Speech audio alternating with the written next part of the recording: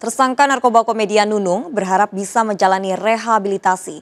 Nunung dan suaminya ditangkap di rumahnya dengan barang bukti 0,36 gram sabu. Berikut pengakuan Nunung mulai dari kecanduannya mengkonsumsi narkoba hingga akhirnya tertangkap polisi. Bicara pengaruh pastinya ya dulu ya 20 tahun yang lalu itu kan lingkungan ya, lingkungan. Tapi kalau sekarang ini sih nggak ada pengaruh dari mana-mana, tidak dan itu saya lakukan murni saya lakukan sendiri dengan suami ya. Ya cuma berdua aja nggak ada pengaruh. Ya kalau ditanya masalah itu nanti ke lawyer saya aja ya mbak ya. Coba-coba ambil sinetron. Tapi itu sebetulnya fisik tidak boleh dibohongin ya. Ehm,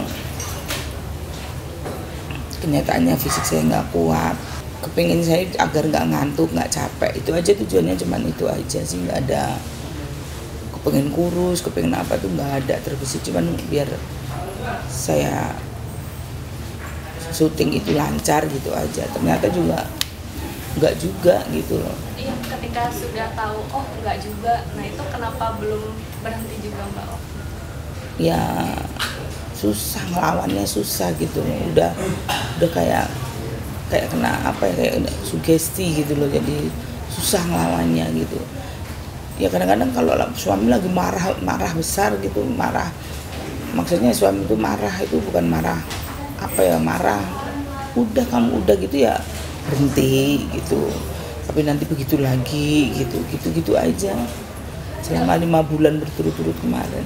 Dalam satu minggu bisa pakai berapa kali? Bisa setiap mau kerja aja setiap berangkat mau berangkat kerja aja. Tapi kalau weekend gitu ya hari Sabtu Minggu saya nggak pernah karena saya harus keluar sama keluarga besar saya.